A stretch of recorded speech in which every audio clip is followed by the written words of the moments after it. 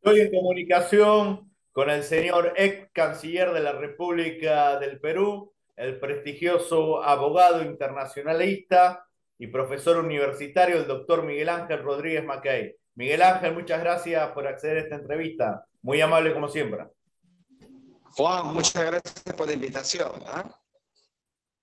Una de las situaciones favorables que tiene el Perú en los últimos meses es la aprobación de la ley del despacho remoto que permite a la Presidenta Constitucional, la doctora Dina Boluarte, asistir a reuniones internacionales. ¿Qué nos puede decir de esta presencia de la Presidente en el exterior? Bueno, fíjate, yo siempre dije que fue una norma imperfecta, porque mm, eh, el poder no se puede ejercer remotamente. Pero también dije de que si ya fue dado por el Congreso y la presidenta ha podido salir, tenemos que ser pragmáticos y pensar en los objetivos del Estado-Nación. De manera que si esa norma jurídica aprobada por el Congreso permitió que ella saliera primero a la cumbre amazónica y ahora a Nueva York para la Asamblea General eh, de las Naciones Unidas, pues no pongamos más eh, cortapisas eh, y, vayamos para adelante. En tanto hay que buscar siempre el bien mayor, y el bien mayor es la presencia del Perú en el mundo sí, de Y esta es, eh, ese es el espíritu que debemos tener siempre cuando hacemos un juicio crítico. ¿Qué sentido tiene estar poniendo peros, óbices, cuando eh, pensamos en el interés del Estado. Tenemos que mirarlo de esa manera. De otra forma, no estamos construyendo. Tú como prestigioso abogado, ¿qué opinas de la acertada decisión de la Presidenta Boluarte de nombrar al expresidente del Tribunal Constitucional, exministro de Justicia, el doctor Víctor García Toma, como representante del Perú en la ONU? Bueno, fíjate, yo a, a Víctor García Toma lo conozco, es un jurista reconocido, además un mejor amigo, de manera que mm, es muy importante que tengamos al frente de la ONU a gente idónea, preparada e íntegra. Em, seguramente el multilateralismo podría ser alguna cuestión novedosa para Víctor García Toma, pero también hay que decirlo, él cuenta con una plataforma eh, muy importante del equipo peruano en ONUPER, en la misión permanente del Perú ante las Naciones Unidas, de manera que eh, debemos esperar eh, con Víctor García Toma lo mejor y actuar como corresponde políticamente. Hay que hacer política internacional. Víctor García Toma, asumo, entiendo que va para afirmar el multilateralismo, eh, que en otras palabras debe significar que el mundo sepa que el Perú es un país gobernable, que no es un Estado fallido, que hay democracia, que hay una presidenta que eh, nos dirige los destinos hasta el 2026. Es decir, todo lo que sea gobernabilidad. Y hay una eh, cosa muy busquemos siempre. Miguel Ángel, cuando hoy vemos que la política es sectaria, la señora Boluarte nombró un profesional que no es de su partido, que es aprista como García Toma, en un puesto muy importante para el Perú. Tú que eres un prestigioso profesional, un hombre que entiende el mundo, fuiste canciller de la República, si la señora Boluarte te convoca para alguna embajada para algún puesto clave, ¿estarías dispuesto a aceptarlo?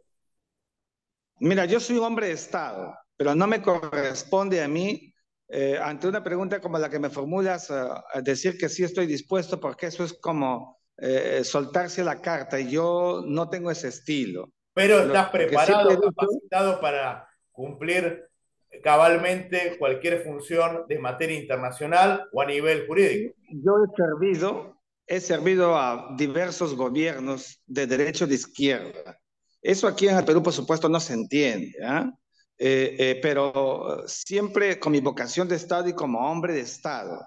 Pero yo en esta etapa de mi vida profesional me siento muy bien en, mis clases, en mi cátedra.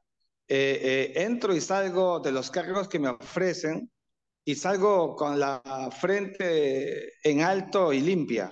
cuando acontecen justamente situaciones que no corresponden a una verdadera dinámica de la acción de la corrección. Cuando veo que algo está mal o no corresponde a, los valores y a la axiología que yo manejo, pues eh, doy un paso al costado. Por eso es que mm, me siento siempre mucho más a gusto en el mundo de la academia, de la cátedra y de la investigación científica, con rigor, sin prejuicios, sin sesgo. Lo que pasa es que eso tampoco gusta. Entonces, cuando uno declara y dice lo que piensa, inmediatamente a los que no les gusta, entonces te ponen memes y te dan duro en las redes, pero la gente sabe que uno actúa fundado en principios, en el derecho, en la hermenéutica, sin dejarse llevar ni por ningún tipo de prejuicio ni elemento eh, subjetivo. Hay que ser como uno es, eso es lo importante y la gente lo sabe. La última pregunta, tú que eres un hombre que conoce el mundo, un estudioso de nuestra región. Hay dos elecciones muy importantes este mes. La segunda vuelta en Ecuador entre los ex asambleístas Luisa González, representante del correísmo, y Daniel Novoa. Y en Argentina una elección que yo la, la catalogo como de final abierto, que posiblemente hay en una segunda vuelta hay tres candidatos fuertes, el oficialista Sergio Massa, actual ministro de Economía de pésima gestión, Javier Milei, el diputado que tiene dos años de ejercicio en el cargo, y la señora Patricia Urrich, que fue secretaria de seguridad de Mauricio Macri, entre otros puestos. Hubo prácticamente un fraccionamiento de tres tercios entre estos tres candidatos y un porcentaje importante que no fue a votar. ¿Cómo analizas la elección en Ecuador y la elección en Argentina? A ver, yo te respondo por las dos juntas.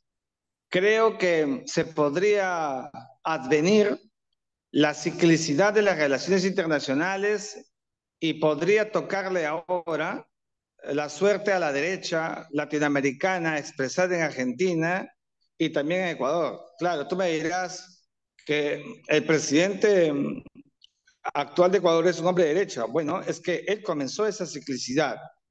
Y entonces, em, el, favoritismo que tiene en este caso eh, Daniel Novoa en Ecuador y Milei en eh, eh, Argentina, a mi juicio estarían abriendo un nuevo capítulo en la ciclicidad de la administración del poder lo que en otras palabras. en otras palabras, tú también dices que no va a ganar ni el correísmo en, Ecuador ni el kirchnerismo en Argentina.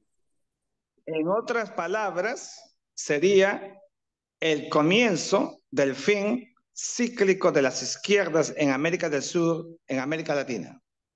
Muchísimas gracias, muy amable como siempre, Miguel Ángel, que viva el Perú y por favor los que están viendo que se suscriban a mi canal de YouTube. Muchas gracias. Un abrazo, gracias por la invitación.